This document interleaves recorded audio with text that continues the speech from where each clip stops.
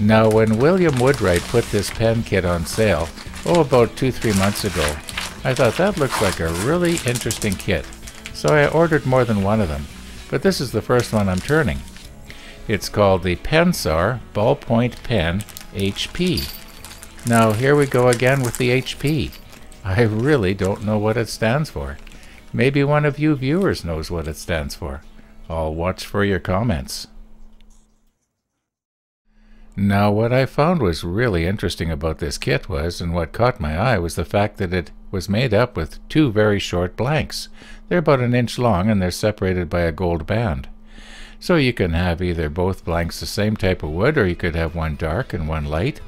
I think it's going to be kind of interesting. It's going to be kind of fun. So let's get going with the Pensar Ballpoint Pen HP.